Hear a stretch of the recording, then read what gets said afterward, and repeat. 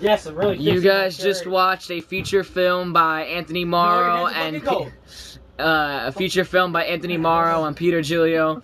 Um, I'd like to thank all of you who watched this, and I'm gonna break out the song. Well, one day we're having a party, and a zombie comes up to Fucking you. cut his head off! What do you do? What do you do? What do you do? You cut his fucking head off! That's right.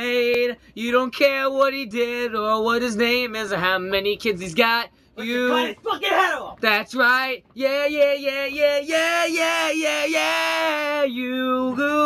Cut his fucking head off! That's right. Because you know what? We have all been making the same mistakes in our life. But who cares when a zombie comes up to you? What do you do? Cut his fucking head off! That's right, cause you just don't wanna care. All you wanna do is. Cut his fucking head off and piss in his mouth! There you go. The, I don't know about the piss in his mouth part. That's a little creepy, but it's alright. Because he's a zombie! It's alright. It's alright.